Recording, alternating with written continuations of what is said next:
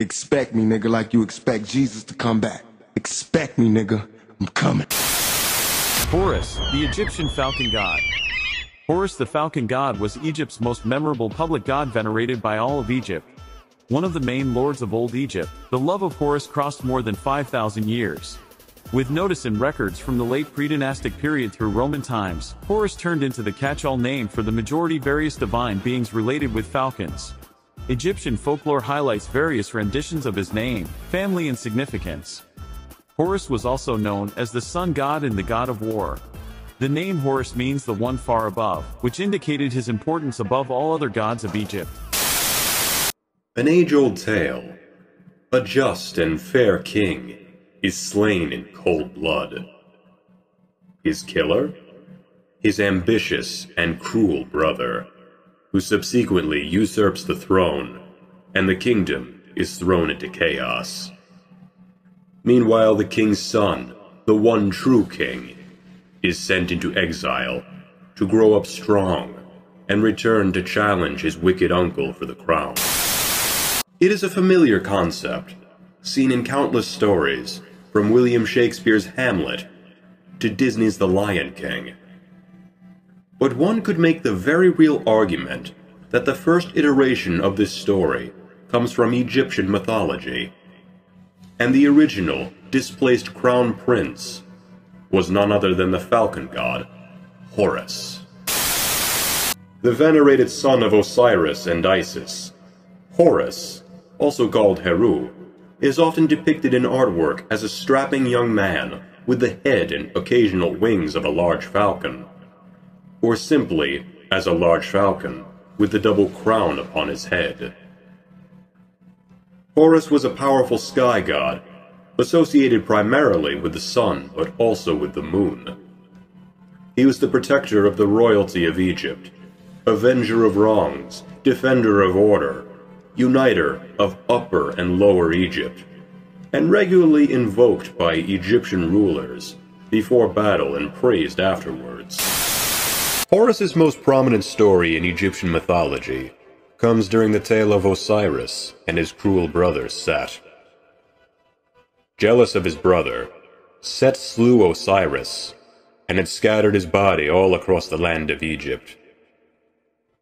As Set claimed the throne for himself, Osiris's widow, Isis, quested to find the remains of her husband. With aid from other gods, Isis was able to revive Osiris and bring him back to life, but for only one night, as nothing that had died even a god, could remain in the land of the living. So Osiris and Isis spent their final night together in a warm embrace. And from this embrace, Horus was conceived. Horus was the son of the true king, and plenty wise and strong, a capable youth, but perhaps too young and too inexperienced to lord over Egypt. Set was older and more experienced, and physically the strongest of the gods, the only one capable of battling Apophis when the sun barge travels through the underworld. Yet his cruel and unpredictable nature, coupled with the fact that he had slain his brother, made many of the gods doubtful of his potential as a leader. And so began the contendings of Horus and Set, a series of challenges to determine who would rule over the world. Numerous different challenges were presented from both parties, some that favored Horus, and others that favored Set. Contests of memory, of wit, and physical prowess, and more than a few hand-to-hand skirmishes, all of which Horus would come out victorious over Set, whether by his own doing or with aid from other gods. A testament of order overcoming chaos, of good triumphing over evil. As uncle and nephew battled in the heavens, chaos was loosed upon the world.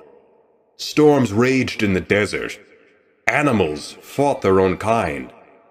Fish in the rivers devoured one another.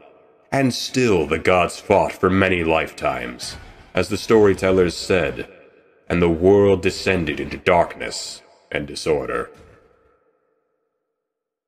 Some say that Set was told to stand down by the Ennead.